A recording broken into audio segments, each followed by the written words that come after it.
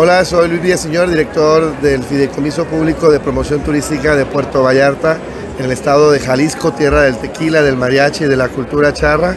Y bueno, obviamente de México, que, que encanta mucho a los colombianos. Perfecto, bien, muchísimas gracias por aceptar esta invitación en Turismo Teita y cuéntanos cuáles son esos atractivos, ese magnetismo que tiene Puerto Vallarta para atraer colombianos y hacerlo un destino ineludible en unas vacaciones o en otro tipo de eventos especiales. Sin duda alguna es que quien nos visita vive esa esencia de México, es un pueblo típico mexicano a la orilla del mar con calles empedradas, que tiene un malecón con muchas esculturas para tomar fotos con las puestas de sol y es el punto de encuentro entre locales y turistas pues, para celebrar México y hablo sus tradiciones, es el Día de, la, de los Muertos, tuvimos el año pasado el récord de la Catrina más alta del mundo, el Día del Charro hay un desfile, ahora sí que hay muchas festividades a lo largo del año que pues permite que el visitante y el local celebre México eh, a través de sus festivales, sus colores, sus texturas. Y sin, sin olvidar que también es una ciudad con una vibra muy cosmopolita, Puerto Vallarta no solo para visitarlo, sino también para vivir. Tenemos una fuerte población de expatriados, tanto norteamericanos como de Sudamérica y otras partes del mundo, porque es un lugar muy bonito que conserva esas tradiciones de México.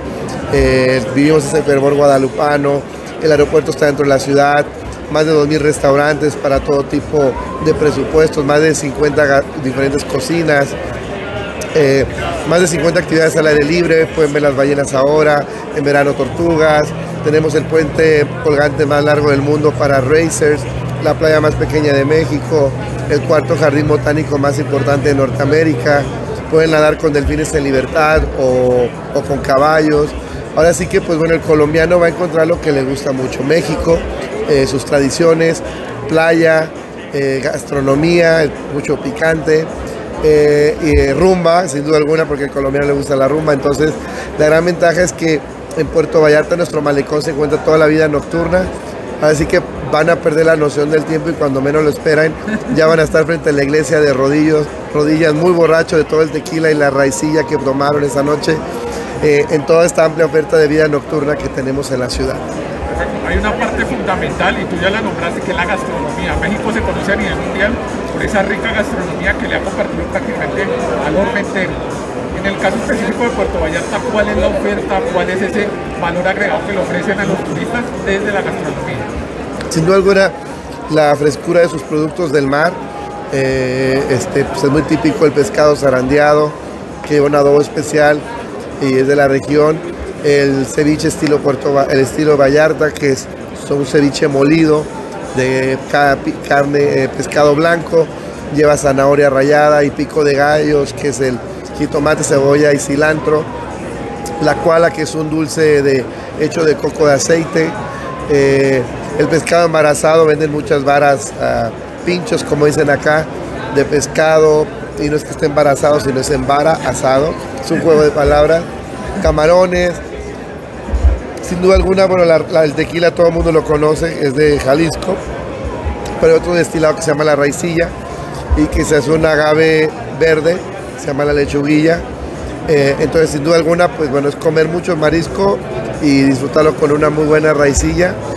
Y adicional, pues ofrecemos una amplia oferta gastronómica de internacional. Son más de 50 eh, cocinas eh, y también muchos restaurantes de mariscos, así que pues les va a faltar tiempo para degustarla. Tenemos ah, cuatro eventos gastronómicos muy importantes. Ahora en marzo el Vinoma Fest, que se muestra todos los vinos mexicanos que se producen, con un maridaje de mariscos. En ah, mayo tenemos el Restaurant Week, que por un menú fijo y precios muy competitivos pueden comer los mejores restaurantes de la ciudad, que suma más de 2.000. Eh, tenemos en octubre el Vallarta Nayarit Gastronómica, que bajo un mismo techo tenemos el mayor número de chefs estrella Michelin de, eh, en Latinoamérica, haciendo talleres, catas eh, eh, muy íntimas.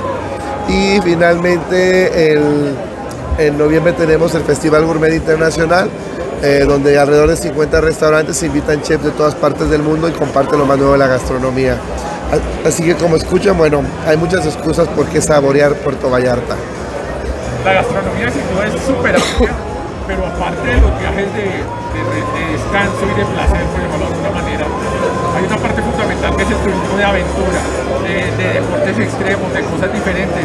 En este caso en particular, ¿qué ofrece Puerto Vallarta?